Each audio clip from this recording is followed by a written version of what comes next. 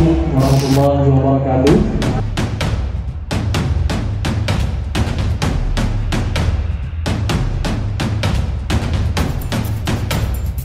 Kalian lomba masak kali ini bikin semenarik mungkin sebagus